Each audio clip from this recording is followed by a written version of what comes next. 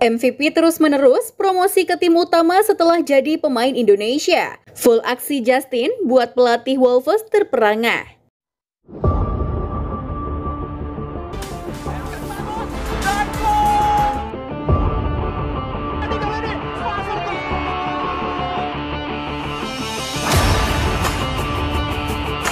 Indonesia versus South Korea.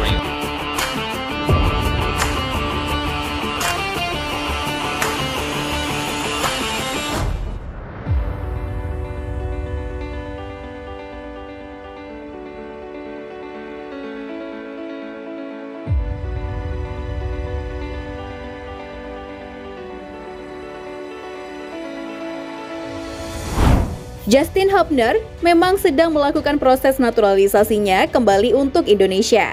Ini diungkapkan oleh Erick Thohir saat melakukan wawancara bersama media.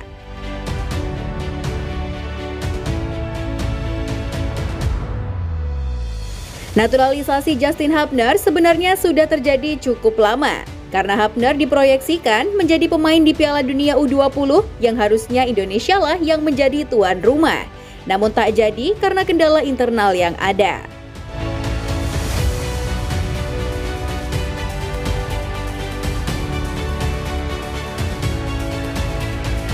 Namun akhirnya nama Justin kembali mencuat setelah Erick Thohir dengan tegas mengumumkan bahwa proses naturalisasi sang pemain sebentar lagi rampung.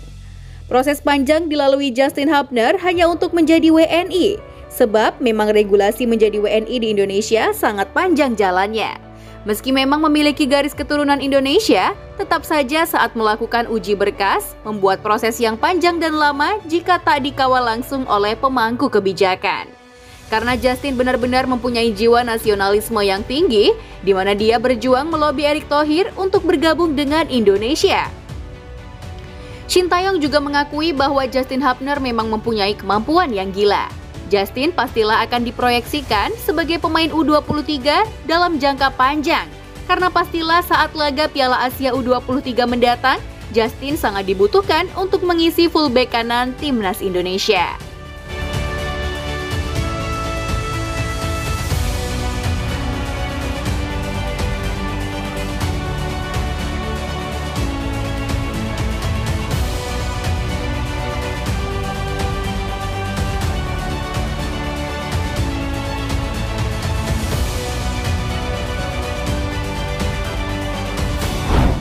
Selalu MVP di Wolves. Bermain untuk klub Wolves U21 bukanlah torehan yang mudah untuk sekelas pemain keturunan Indonesia yang berada di Eropa. Selain itu, dengan kemampuannya sebagai kapten tim di Wolves U21, Justin mampu menjadi motor penggerak lini bertahan yang berbekal mentalitas yang tinggi. Justin Hubner selalu menjadi tembok terkuat Wolves saat laga yang dilakoni klub Wolves di pertandingan resminya dalam kelompok umur di Inggris.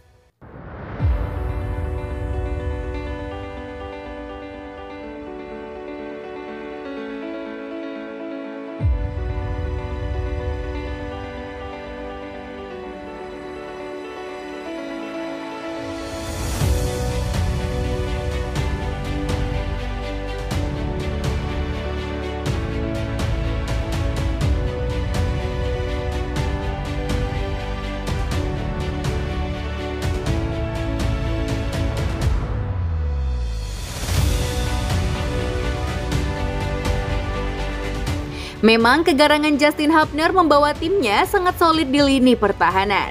Dirinya mampu menjadi jenderal untuk mengatur para pemain belakang supaya tetap fokus di dalam pertandingan. Bahkan pelatih Wolves terus memantau Justin Hubner di laga terbarunya. Terlihat dirinya tak tergantikan sebagai jangkar selama 90 menit bermain.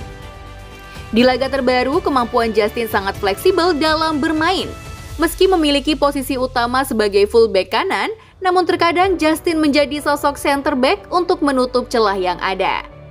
Pelatih utama Wolves meminta Justin Hubner berlatih di tim utama karena ia ingin mencoba melihat kinerja Justin apakah bisa bersaing di skuad inti Wolves. Set, set.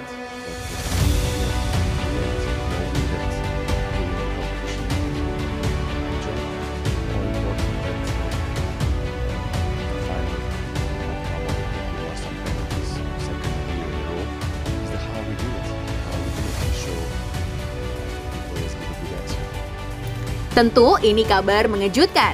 Pasalnya ada pemain Indonesia yang akan bermain di Liga Utama Inggris dan Justin pastilah bisa naik ke IPL jika dirinya memang didikan asli dari akademi. Saya melihat Justin memiliki semangat baru setelah dirinya mendengar kabar tentang Indonesia bulan ini, ungkap pelatih Wolves U21.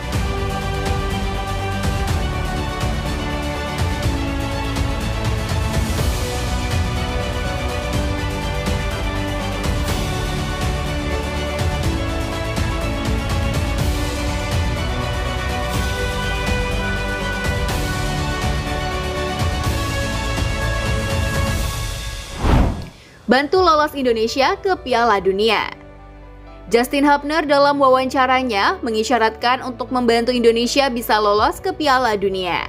Selain bisa melancarkan karirnya di Inggris, Justin juga ingin membuat bangga para fans yang ada di Indonesia. Tentu ini akan jadi proyek besar timnas Indonesia demi menembus Piala Dunia 2026. Karena pastilah masih butuh banyak pemain untuk menjadi pelapis jika ada pemain yang cedera saat membela klubnya.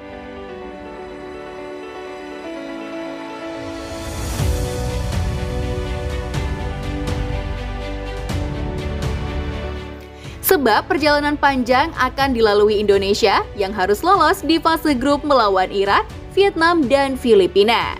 Meski tak mudah, namun STY sudah menargetkan bisa lolos di fase ini.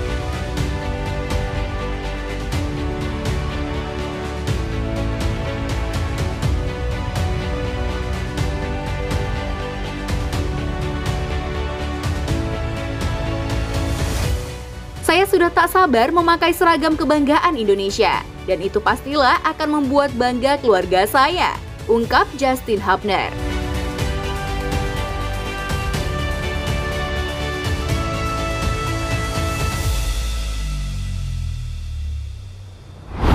Nah, menurut kalian, siapa lagi nih pemain yang cocok untuk dinaturalisasi guna menjadi pemain inti di timnas Indonesia? Yuk berikan pendapat kalian di kolom komentar.